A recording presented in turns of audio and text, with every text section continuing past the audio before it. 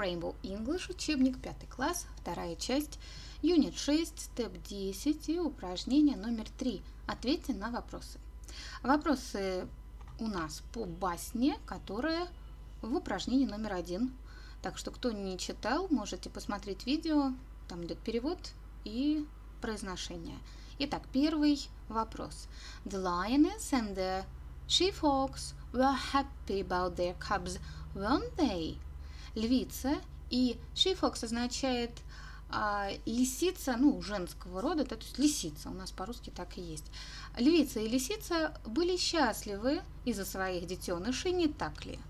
Да, они были счастливы, поэтому отвечаем здесь кратко. Yes, с большой. They, то есть смотрите, мы их не э, переписываем в конец вот, вот этот хвостик, мы их заменяем местоимением, да, то есть львица плюс лисица, значит они, то есть they. А затем, если здесь сильный глагол, were это сильный, то мы его сюда и переставляем. Yeah, they were, да. Второе. Mothers often speak about their children, don't they? Матери часто разговаривают о своих детях, не так ли? Это в тексте было, и было сказано «да», они часто разговаривают, поэтому пишем опять же «yes», матери это «they», опять-таки. Затем смотрим, где у нас глагол. Глагол speak. Это слабый глагол. Смотрим, в каком времени он у нас стоит. Стоит он в present simple. Значит, мы должны работать вот здесь в хвосте с дополнительным э, помощником, скажем так, do или does. Так как у нас they согласуется с do, соответственно, я его и ставлю yes, they do. Третье. Uh, the lioness was not proud of her cub, was she? Львица не гордилась своим детенышем, не так ли? Нет, она гордилась. Только вот по-английски это выглядит, э, снова напомню, вот такие типы вопросов довольно сложно для понимания, но yes, she was. То есть на самом деле, видите, переводим все наоборот.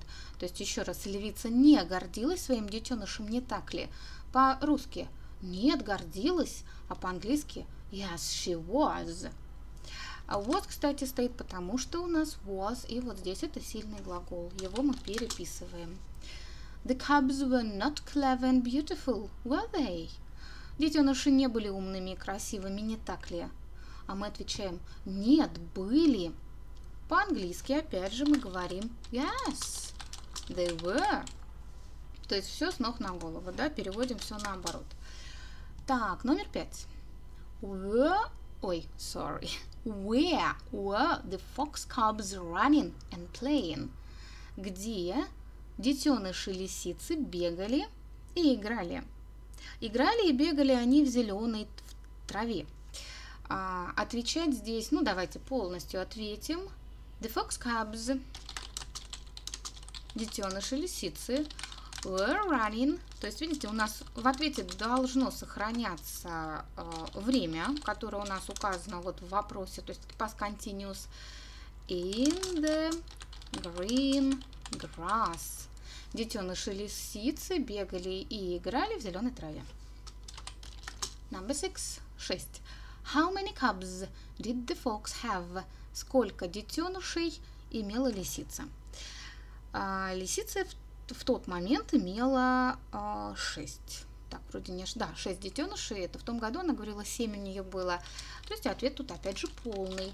The fox had у нас прошедшее время. Как мы вот здесь видим э, в вопросе прошедшее, мы и себе делаем прошедшее. The fox had six cubs. Седьмое. How many cubs did the lioness have? А сколько детенышей львица имела? То есть продолжаем. The lioness had то же самое. Сколько же у нее было детенышей? Один. One cub. Восьмерка. The lioness was not sad because she had one cub, was she? Львица не была э, расстроена, грустна в общем, не печалилась из-за того, что у нее был один детеныш, не так ли? А, она нет, она не печалилась, то есть э, все было, скажем, в порядке, поэтому отвечаем No, she wasn't. Но в ответе по-русски это звучит так. Да, не печалилась. То есть опять все наоборот. И девятка. Why do you think she was not sad? Почему ты думаешь, она не была печальна? Так, тут сложно. I think she wasn't sad. Я думаю, она не была печальна. Ну, я так предпочитаю, чтобы было полностью, полностью ответ.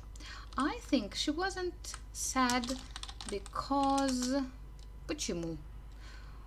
Ну, потому что у нее был детенышем целый лев, да, ну, львенок еще. Because uh, her... Так, перенесу. Because her cub, ее детеныш, was a lion.